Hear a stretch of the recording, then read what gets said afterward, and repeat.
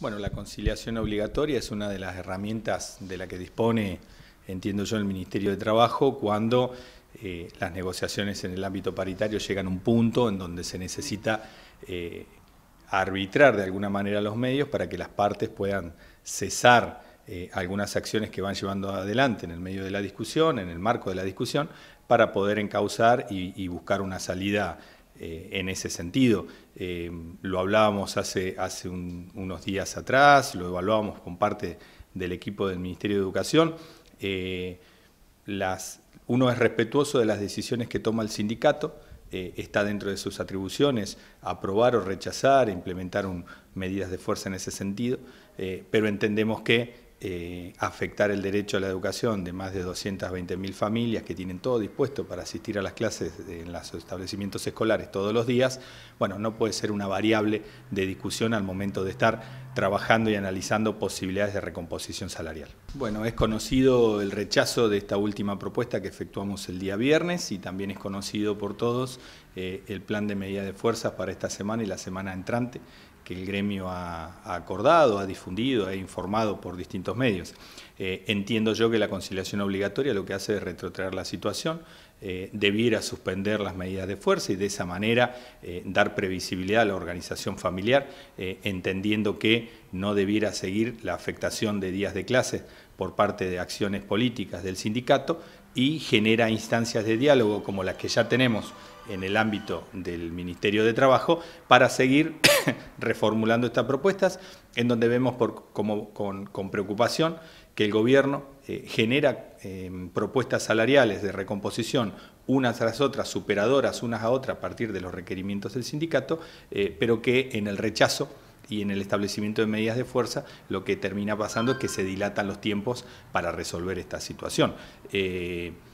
De esta manera estamos discutiendo una recomposición salarial para el tercer trimestre del año, porque así lo solicitó el, sindicato y así ha accedido el gobierno. Las propuestas siempre han sido del orden de lo trimestral. Eh, y ya estamos transitando el último mes del tercer trimestre y todavía no tenemos un acuerdo eh, o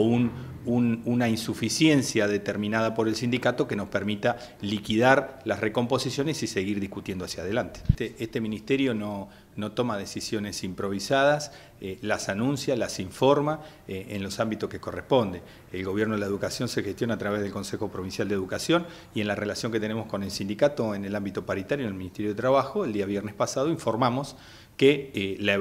evaluación que este ministerio hace del ciclo lectivo que está en curso eh, tiene que ver con la afectación de muchos días de clases a partir de todo el plan eh, sistemático de medidas de fuerza que ha llevado, que ha implementado la representación sindical este año, que ya ha afectado 13 días de clases y en donde el calendario permite la reformulación y la recuperación de esos días de clases, pero que también hay un límite, que no es un límite solamente en, la decisión, sino es un límite material. El ciclo lectivo 2022, el año 2022 termina un 31 de diciembre, más allá no, no se puede extender el ciclo lectivo y por lo tanto avisamos que íbamos a estar trabajando en una reformulación del calendario escolar. Así lo hemos hecho. Hemos dejado en la última semana del mes de diciembre muchas de las tareas administrativas que ordinariamente se realizan en las escuelas, como las cargas de nota en el sistema, la entrega de boletines, el cierre de los comités académicos en la SRN. Lo hemos trasladado hacia la finalización del,